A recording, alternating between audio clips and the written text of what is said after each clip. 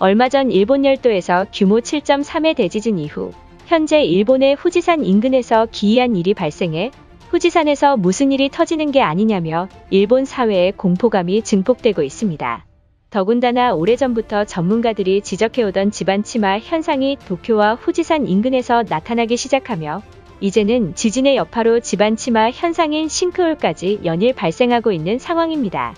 더욱 상황이 심각한 것은 일본의 수도인 도쿄도 오메시에서 도심 한복판 도로들이 무너지는 대형 사고가 터졌습니다. 전문가들조차 정확한 원인을 모르겠다며 난감한 모습을 보이고 말았습니다. 그럼 자세한 내용 알아보도록 하겠습니다. 바로 오늘인 도쿄도 오메시 관할 소방대의 도쿄 주민들의 제보 전화가 쉴 틈 없이 울렸습니다.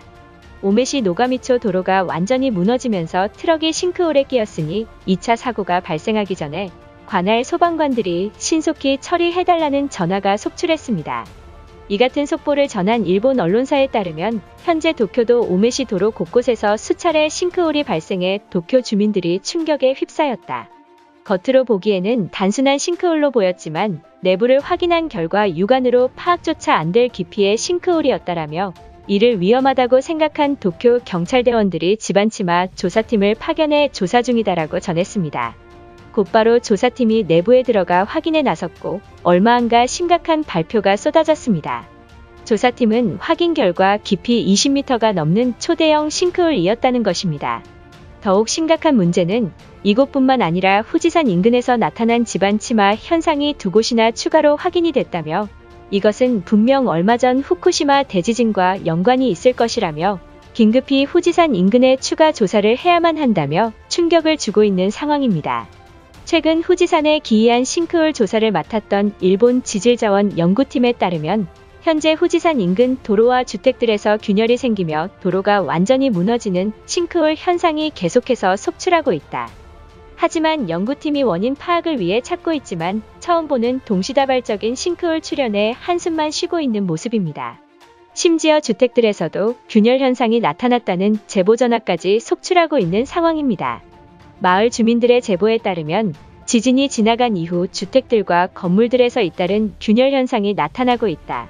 다급히 정부에게 이 사실을 알렸지만 이것은 노후화된 건물들에서 흔히 발생하는 일이니 이번 지진과 아무 연관이 없다는 어처구니 없는 답변만 왔다라며 정부의 무능한 태도에 주민들이 언론사에 직접 폭로했다고 전했습니다. 그런데 기이한 현상이 후쿠시마 지진과 연관이 있다며 당장 후지산과 도쿄 오메시 주민들을 이동시켜야 한다고 주장했습니다. 지질자원 연구팀에 따르면 현재 싱크홀이 발생하는 이유에는 강한 지진의 충격으로 집안 아래에 있는 지하수들이 빠져나가면서 땅굴의 천장이 빈 공간의 무게를 견디지 못해 땅이 꺼진 것이라며 말했습니다. 계속해서 지진이 발생해 지하수가 빠져나간다면 이제는 주택은 물론 대형 건물들까지 무너질지 모른다며 그때는 정말 너무나도 위험한 상황이니 주민들을 지금이라도 이주시켜야 한다고 주장했습니다. 이처럼 현재의 일본 상황은 후쿠시마 대지진으로 인해 도로들이 함몰되는 기이한 현상까지 나타나며 일본의 중심지인 도쿄도와 후지산까지 피해를 입는 국가비상 사태인 상황으로 돌입하고 만 것입니다. 일본인들의 반응은 어떨지 자세히 알아보도록 하겠습니다. 며칠 전 후쿠시마 지진으로 인해 건물 붕괴는 물론 이제는 싱크홀까지 나타난 것인가? 전문가들에 의하면 이번에 발생한 싱크홀 깊이가 성인 20명이나 들어가는 크기라고 한다. 10년 전만 해도 일본이 가장 살기 좋은 땅이라 했지만 이제는 전혀 다른 상황이다. 한국은 어찌 보면 일본과 가장 가까운 나라이니 이번 사태에 돕는 것은 당연하다. 현재 한국인들 때문에 한일 관계는 최악이지만 이는 별개로 봐야만 한다. 반대로 한국에서 지진이 발생한다면 일본 정부가 신속히 지원을 해줬을 것이라고 생각한다. 과거부터 일본의 집안 치마가 나타나면 그 지역에 곡식이 잘 자란다는 말이 전해지고 있다. 현재 도쿄와 후지산 인근에 이와 같은 현상이 발생했다면 올해 풍년이 불게 틀림없다. 이것은 재앙이 아니며 하늘이 내려준 축복이라 생각하는 게 바람직하다. 지금 주민들이 사는 집과 주택에 심각한 균열이 발생했음에도 그런 말이 나오는가? 지자체는 주민들의 제보에도 예산이 없다는 핑계로 거짓말을 일삼고 있다. 돈이 없어 보수공사조차 못하는 인간들보단 차라리 한국 정부에게 부탁해서 수리를 진행하자. 이번 사고는 일본 정부가 아무런 대비조차 하지 않아 발생한 것이지 한국 탓을 해선 안 된다. 왜 자꾸 일본의 자연재해가 발생할 때마다 한국을 언급하며 트집을 잡는가? 한국인들이 본다면 역시나 일본의 거지근성이라며 조롱할 게 틀림없다. 반대로 한국에서 자연재해가 발생해 일본인들은 방관하냐며 소리치면 어떠하겠는가? 지금 우리가 쓰는 댓글은 초등학생들도 하지 않는 수준 낮은 댓글이 천지이다. 일본의 경제는 성장하고 있는데 교육 수준은 왜 자꾸 퇴보하는 것인가?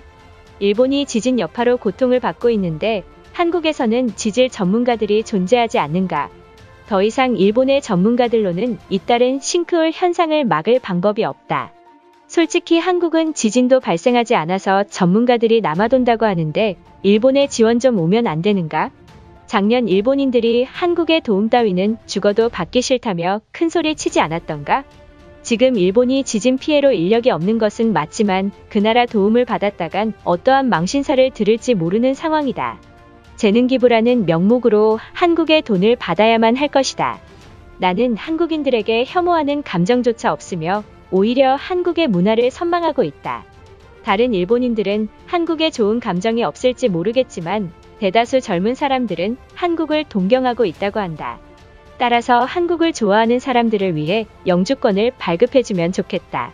우리가 왜 한국에게 부탁해야 되는 상황에 처했는지 모르겠다.